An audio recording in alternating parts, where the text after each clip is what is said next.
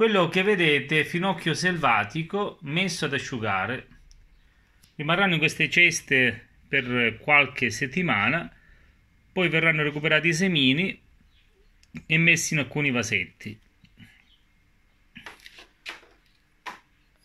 Finocchio selvatico delle nostre timpe si addice per la preparazione di tante cose, vale a dire i salumi, la sardella e tante tante altre pietanze nostre tipiche calabresi.